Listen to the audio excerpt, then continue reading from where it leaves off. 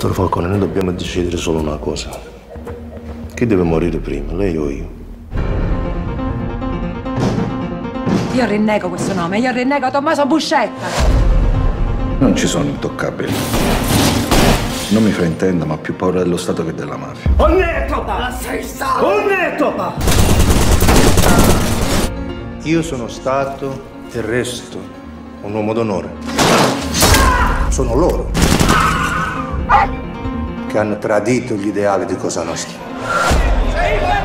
Per questo io non mi considero un pentito.